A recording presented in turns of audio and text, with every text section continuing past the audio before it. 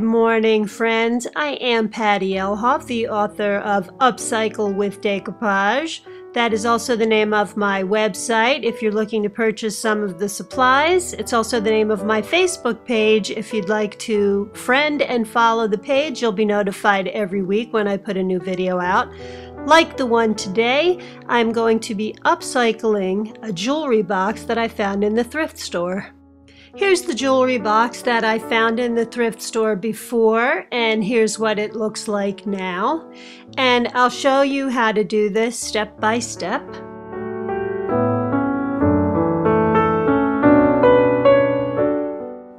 If you have to remove any labels or any of these stickies from here, I just used a very hot wet cloth put it over there, took it off, and then just removed the labels from anywhere else around the box. Then I took this 91% isopropyl alcohol and put it all over the box. I wanted to remove any traces of oil or germs or bacteria because this was in a thrift store and everybody and their brother was picking it up. And I'm using chalk paint naturally because the chalk paint doesn't require any sanding. I just wanted to make sure it was a clean surface.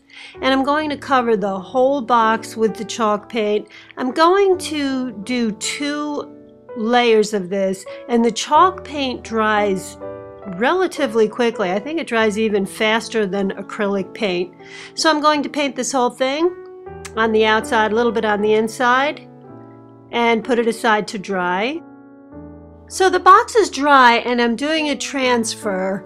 And a transfer is basically when you make a copy of something with your printer and most of us have an inkjet printer. So I strongly suggest that you get a laser print from a store like Staples or what have you. Then you can just lay down your decoupage glue and your print has to be, if it's got script on it, you want to print it out backwards. You flip the image. So we put the decoupage glue down and we want to make sure we get this as firmly pressed down as possible. And you can use a spoon, you can use, a, if you have a hard brayer, that works well too. And then you just leave this aside to dry for an hour or so. Now once this is dry, I took a clean rag, this is a little bit rough, and I wet it and I went over the surface of the transfer. And you want to find kind of the right pressure in order to remove the paper. What you're doing is rubbing the paper away so that the ink stays behind, which is why a laser printer works much better than an inkjet print. An inkjet print, inkjet print, that's hard to say, will not come up as intense and it could also wipe away because believe it or not, even though it's ink, it is not permanent. So you can see why I did a flipped image and I'm not worried about the edges because I'm going to cover those. So I'm just removing all of the paper here. Now I'm done with taking the paper off so that the transfer is showing through. And I'm going to take a nail file. It's an acrylic nail file because it's a little bit more firm.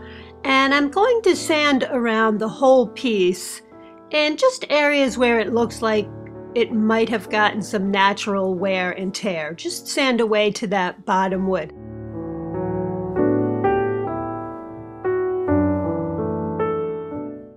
And now I'm going to take my napkins, which I have not separated yet, and I'm going to use a paintbrush to tear away just small sections of the pattern here that I want to place all over the box. And you may want to do a dry run first, see where you would like the napkins. But I'm going to tear several of these roses away. And before I separate them, just going to let them dry. You also want to place your fingers down over the areas that you don't want to tear so that when you wet the napkin, you can see here that this leaf could tear. What I'm going to do is place my finger down to hold it in place while I tear the napkin away. Right there. And I'll go around and do this with the rest of the napkins.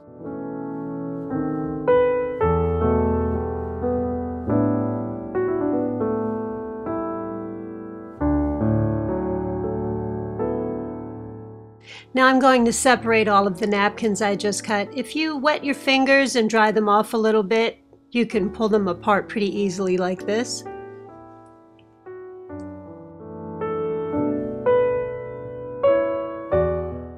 Now I'm just doing a dry run. I want to place my napkins down where I think they're going to look the nicest. When I'm happy with the pattern or the way that I have this placed, I'm just going to move the napkins aside.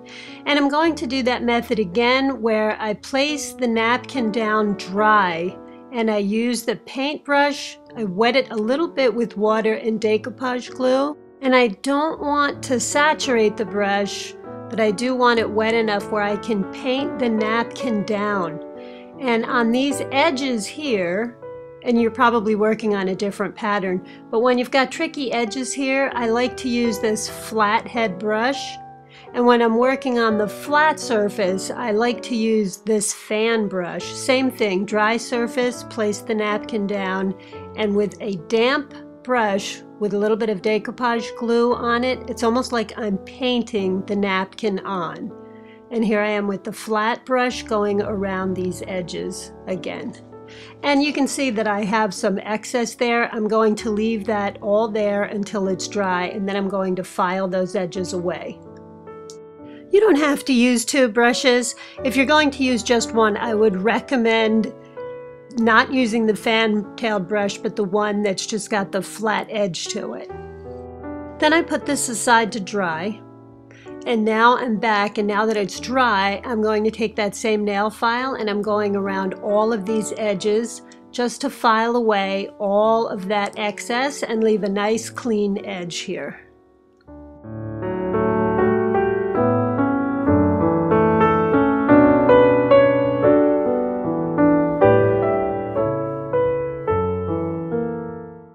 I'm also going to go around the napkins and sand away a little bit just to age it a little bit more up top here too. Now I'm taking a, a toothbrush and this is just designated for crafts and it's very flexible. And I'm adding a little bit of water to a plate and I'm taking this acrylic, paint, you can use any acrylic paint I think, this is just called nutmeg and it's an antiquing medium but I still want to mix it with water and you might want to practice this on a napkin first and make sure you put some paper down because this will splash all over the place. And I just mix these and I take the toothbrush and splatter it all over the jewelry box. It just adds a nice little tiny touch of aging to it again.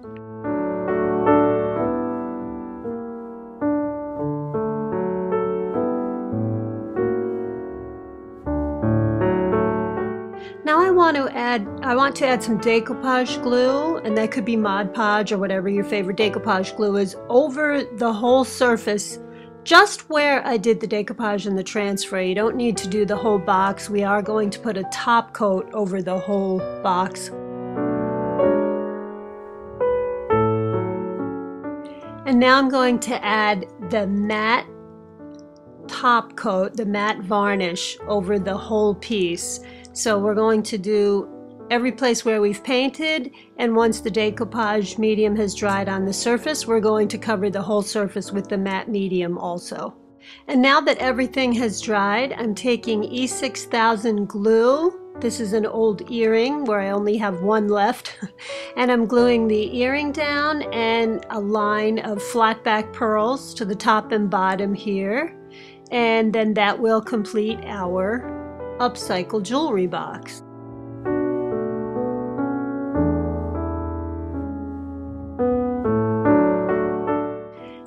Here is our finished project for today. If you've got any questions, feel free to ask me below. It is taking me a bit longer to get back to you. Uh, normally, I would do it within a day or two days. Sometimes it's taking three days thanks to you guys because that's because there's so many more subscribers and questions and comments and thank you so much for your compliments thank you for subscribing again don't forget about upcycle with decoupage on facebook if you like and follow the page you'll be notified on facebook every week when i put out a brand new video and I hope you guys enjoyed this. I know I love doing it. And I will see you next week with another video. Thanks again. Bye-bye.